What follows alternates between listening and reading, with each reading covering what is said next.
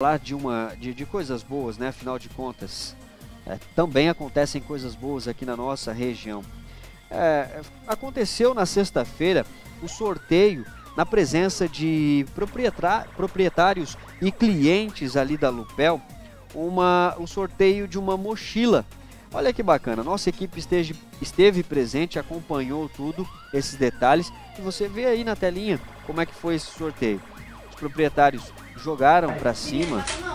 Olha que legal, jogaram para cima e uma cliente acabou pegando ali o nome do sorteio. Para participar era muito fácil, né? Bastava é, curtir a página da Lupel Embalagens ali e já estava concorrendo. Curtir ou compartilhar.